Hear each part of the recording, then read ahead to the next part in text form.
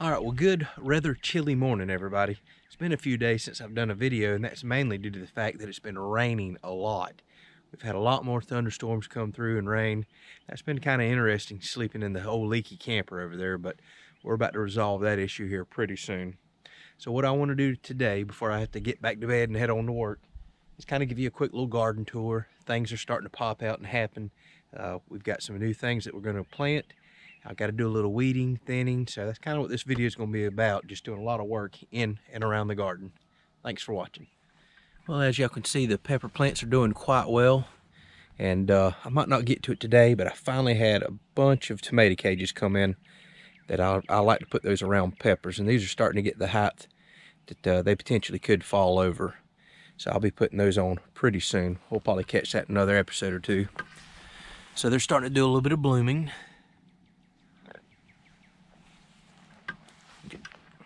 That's good. My zucchini are starting to come on well. They were yellowing up quite a bit, so I hit them with a tiny little bit of fertilizer. Still starting to get some uh, nice blooms there. And Tiffany come home the other day and kind of surprised me. She decided to go by the uh, nursery and pick up a few things. So it looks like I got some more planting to do. Got a few blueberry bushes. We're going to go back and get several more of those and uh, a peach tree that she picked out. It looks like it's already got a couple little peaches on it. So we'll be planting those very soon, along with my loquats over there, my citrus trees, Myers lemon, a lime. Looks like we already got a few blueberries on these bushes. And she uh, loves muscadine grapes, even though we have them everywhere on the property. So she picked up one of those there. I actually already see little grape pods all over it. All right, as we head out into the garden, the okra, you know, it's kind of hit or miss if you watch the other episode there where I had to replant a lot of it. I'm starting to see some of that replanting pop up. But uh, over in this section, the okra's doing quite well. Peppers, hit or miss, you know, the storm tore a lot of those up, broke them. But there's a few in there doing quite well. Same with this. This box did very well through that bad windstorm. Corn, ah, doing fantastic. Pretty much every single piece came up. So it's time for me to go ahead and go through and thin this out.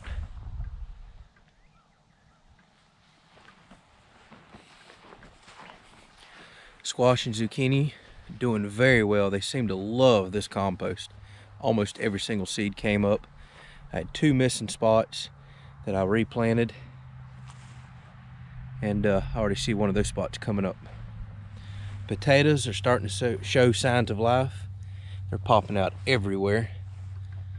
Looks like the majority of the potatoes are going to make it just fine. Still seeing them breaking the surface here. So, uh, real happy with that. Wasn't sure about how I planted them. This is the bed I'm struggling on so bad. I cannot get cucumbers to come up to save my life never had a problem planting cucumbers in the old sandy soil that I was used to in the past, but it's just something about this compost they're not liking. I don't know if it's just too high in nitrogen and that's a problem, but I've planted them twice. One time a little too deep. This last time just according to what the, was recommended, about a half inch deep, and I just cannot get uh, these cucumbers to come up. Kind of been struggling with the beans a little too, had to replant them. Got a few coming up they take a while to germinate as I found out so we'll uh, we'll kind of see how those seeds do over the next week or so. If you watched my most recent uh, bed build you know I just decided to put two more 4x12 beds in. I threw some beans and corn in them real quick. Corn is already coming up. Like I said it just loves this compost. I'm seeing little pieces everywhere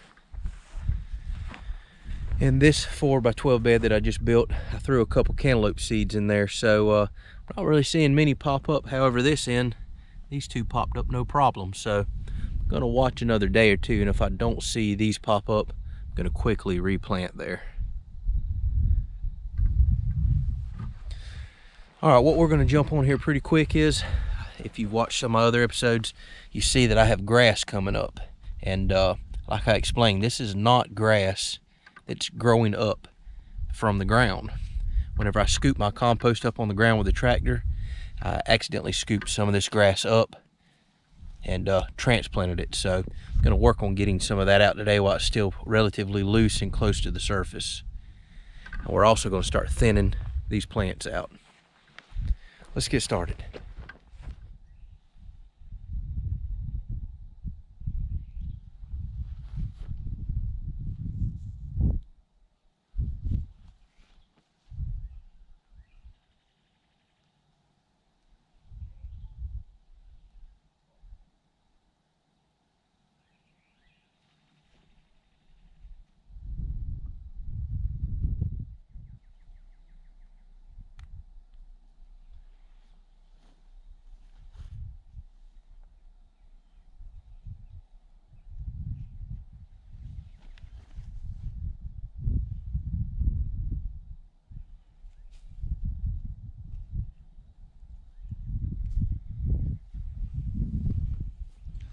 All right, now I'm gonna start thinning my plants out. I always put way more seeds than what's needed, just due to some might not germinate. So then I like to go back in and uh, find the healthier plant, pull out the weaker looking plant beside it. That way it's not competing uh, with the other plant there. So just kind of something I've always done, been raised to do.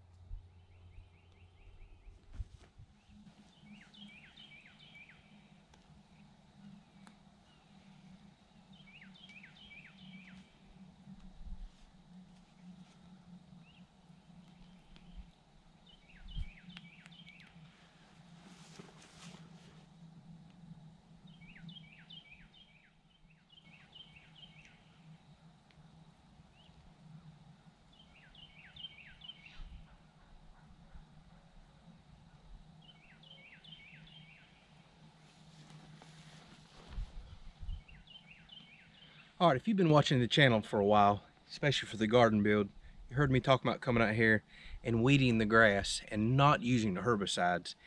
I don't mind using herbicides around the property, but just near my food, I don't agree with it. It's just kind of too controversial nowadays and there's just a lot of uncertainty around it. So I use a propane powered weeder. I got this off of Amazon. I need to remember to include a link below where I try to include all the stuff that I use on the channel. But uh, I forget exactly what it's called, but it's just a propane weeder. They're pretty common, not that expensive. You hook it up to a 20 or 30 pound cylinder. It just so happens that the insurance company's totaling our camper from the bad storm. And uh, I have full 30 pound cylinders on the front. So I figured this now is a good time to use them before they come get that camper. So what I do is I just go around and you just wave this over the grass. It's pretty powerful and all you're doing is breaking down the cellular structure in the grass. You're not trying to cook green grass down and make it catch on fire, although sometimes that kind of does happen, but we're not going to burn up the yard here. We just got a lot of rain. All you're trying to do is just hear that grass uh, just kind of click and pop so you're bulling the inside and it'll break it down and kill it. It's an excellent way to kill grass without using herbicides. So I'm going to go around the edge. I'm going to go ahead and start getting the pass. It's going to take a little bit of time to do this. It won't kill it all the first time, but you'll start seeing in the next few episodes as I'm out here how quickly this starts yellowing up, breaking down, and eventually goes to dirt. Then I'll have to make another pass or two to get what grows back and some weeds. So let's get started. Let me show you how this works. All right, so you just hook it up to your cylinder. I'll wheel one around on the dolly, uh, especially since this is a 30 pound cylinder, but a lot of times I'll just carry a 20 pounder around. It's manageable. It's got a little cut off valve here on the end. Some of them have nice squeeze handles you just turn your gas on. It's fully adjustable. It can get quite powerful. These are also excellent for lighting brush fires, uh, getting a regular fire started. But you know, if you pile up a lot of green material and uh, want to start, you know, just a cleanup fire, great for that. A lot of uses for these.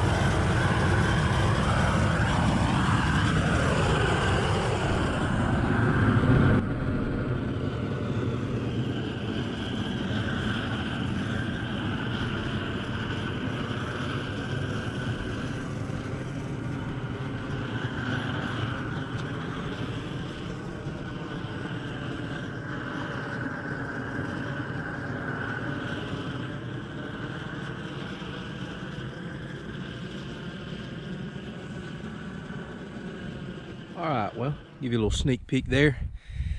I would say I probably have 30 to 45 minutes in burning all this. By far the most I have ever burnt with a weed burner.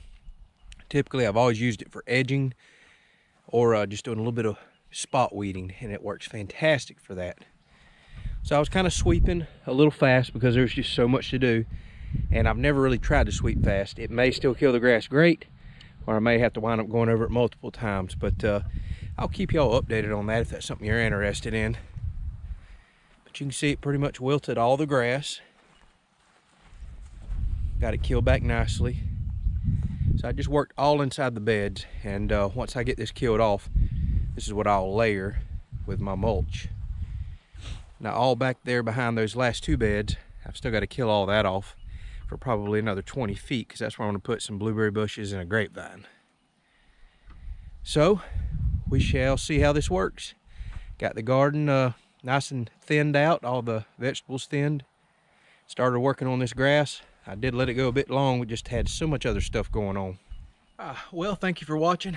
I believe this video is going to be kind of short. Every time I say that, I go to editing and realize, man, this video is a lot longer than I thought. But I got to keep it kind of short today, so we shall see how this turns out when I start editing. Got to get back to bed, get back to work. Uh, some of the next projects are going to be finally putting a fence up around this. Uh, we've got a fifth wheel camper coming over thanks to a family member that's helping us out since we haven't found anything locally yet and the insurance company's coming to pick up ours that got totaled. So got to do some wiring for that, some electrical stuff. So I'm just going to throw little random different projects on the channel here. Hopefully y'all enjoy that kind of stuff. A lot of gardening videos coming up. Like I said, fencing, planting these fruit trees that's back here behind you. So uh, just lots of little things going on. Need to plant a few more missing spots here. I'll keep you updated as things grow. And hopefully here before long, I mean, we still got several weeks, but looking forward to picking our first vegetables. So I can't wait to taste some of those. Thank y'all so much for watching. And I do want to say we just hit a thousand subscribers today. Uh, awesome milestone. Thank you so much to everybody that subscribed to the channel. It's really keeping me motivated to get out here and do these projects. And I'll admit, although I stay very busy and active, a lot of times knowing that, hey, I want to get out there and make a video or update y'all on something motivates me even more to get out here and knock projects out. So thank you for the kind comments, for subscribing, uh, sharing the channel, liking, all that has really helped us get to this point. And like I said, it's also motivated me to get out here and knock out a lot more projects than maybe I would have. So thank you for that.